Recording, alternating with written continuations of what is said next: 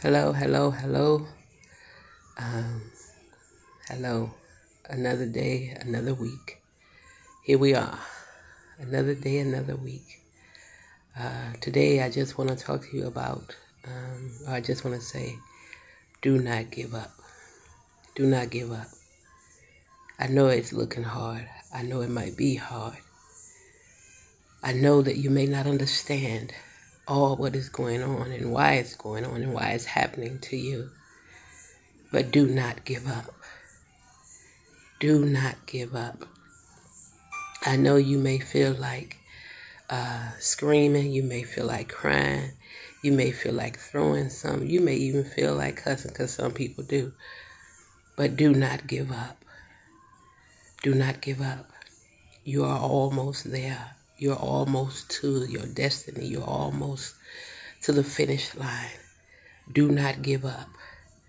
If God brought you to it, He's going to bring you through it. So do not give up on today, days to come. Do not give up. We've all we are almost there. Don't give up. Your breakthrough is just around the corner. Your destiny is right there in arm's reach. Do not quit. Do not quit. Do not give up. You can do this. Ask God to give you a little bit more of His strength. Ask God to increase your faith. Ask God to let you continue to trust Him and trust the process. Do not give up. You hear me? Do not give up everything that you have fought for, everything that you are yet believing, everything that you are yet holding on to. Do not give up. Do not give up. The victory is yours. The testimony is yours. Do not give up. Give God glory. Give Him honor. Give Him praise. Do not give up. When you feel yourself getting weak, give God glory, give Him honor, give Him praise, and do not give up. You will win. You will survive, and you will come out on the other side. No matter what it looked like, no matter what has been sent or who has been sent to try to be a stumbling block, to try to stop you, to try to keep you in a corner to make you feel like you're not going to make it.